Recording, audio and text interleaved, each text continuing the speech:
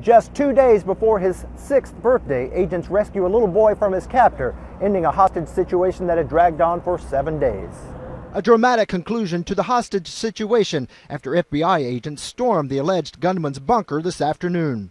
Within the past 24 hours, negotiations deteriorated and Mr. Dykes was observed holding a gun. At this point, FBI agents, fearing the child was in imminent danger, entered the bunker and rescued the child. The child appears physically unharmed. The subject is deceased. Little boy who turned six years old this Wednesday was sent to a local hospital. They were very calm. They were not in a hurry.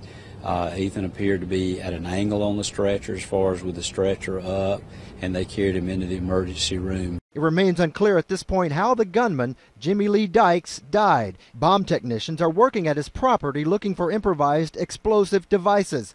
The 65 year old allegedly shot and killed a school bus driver before kidnapping the child last Tuesday. It was a day before Dykes was scheduled to appear in court, being accused of shooting at his neighbors.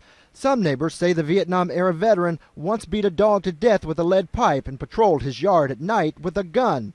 The bus driver, 66 year old Charles Albert Poland Jr., has been hailed as a hero to protect about 20 other children on the school bus.